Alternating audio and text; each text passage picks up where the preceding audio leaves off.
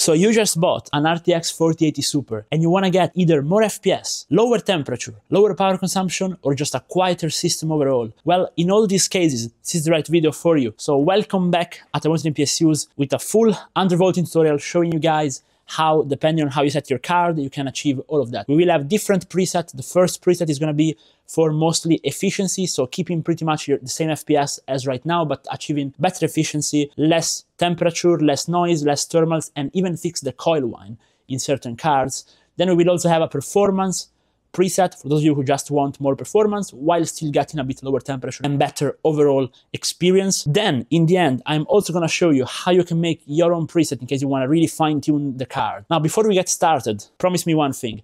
If the video ends up being helpful, you will drop a like and a sub to support the channel, okay? Now, one last thing. This card is actually the best card on the high end you can buy, so I congratulate with you for buying the best. I actually don't really recommend buying the 4090 at the moment. I think it's a bit overpriced and a well-tuned RTX 4080 Super is going to be the best. Also, the Super series of cards has better binned memory on average, at least in my testing, so you will be able to tweak it and push it even higher. So with that said, let me see you in the desktop.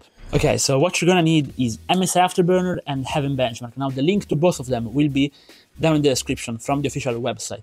So first thing you wanna do is just open up MSI Afterburner, okay? And then open up Heaven Benchmark, but don't start it in full screen. Uncheck this thing and then start it, okay?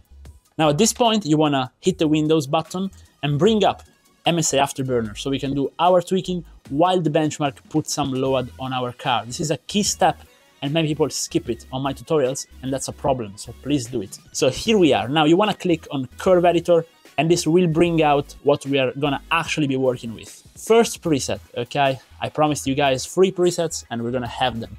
So you wanna raise the 900 millivolt voltage point by holding the shift key and just raising the whole curve up until it is on the left side on the y-axis on 2550 megahertz. Now it doesn't have to be the exact number, it can also be like 2548, 2552, something like that, but around this range, okay? At this point, release the mouse, release shift, click on the void, hold shift, and then select the whole curve on the right. This is the most tricky part, okay?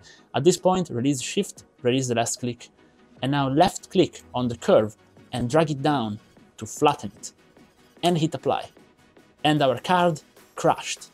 So now I wanted to show you this in case you guys have this happen. So while you're doing some tweaking, things can quite simply not work. And this preset 900 millivolt 2550 megahertz will work for most cards, but not for every single card.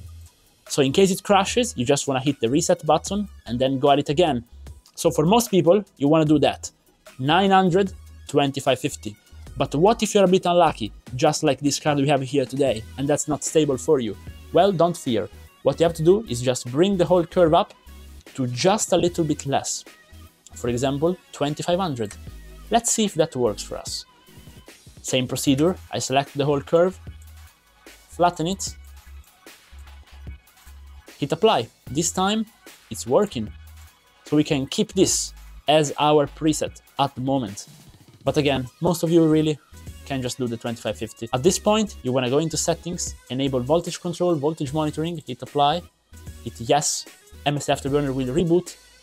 Now you can bring out the curve again, and as you can see, it's still there. You wanna also unlock your power limit. This is not gonna increase the actual power consumption. It's just gonna give the card a little bit extra breathing room. In my case, we cannot increase it. It's locked at 100.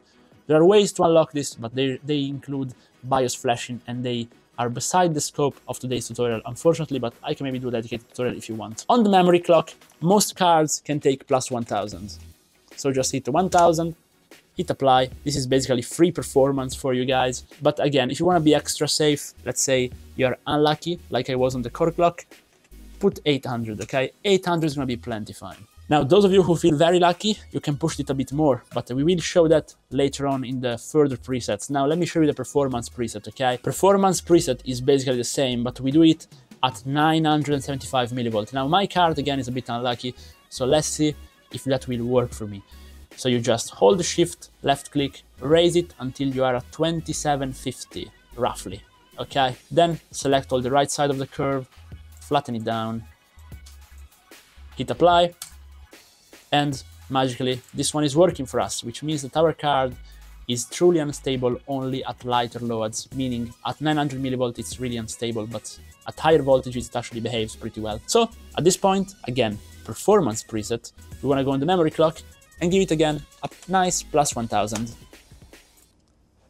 Truthfully, the tutorial could actually end here. So if you just want to copy my settings, you can actually close it, but let me show you how to save those things. And then for those of you who want to stay, I will show you how to fine tune the overclock for yourself, the undervolt I should say. So hit save, click on one, click on one again, click apply, click on the little Windows icon up here, go into settings, start with Windows, start minimized, apply, okay, done.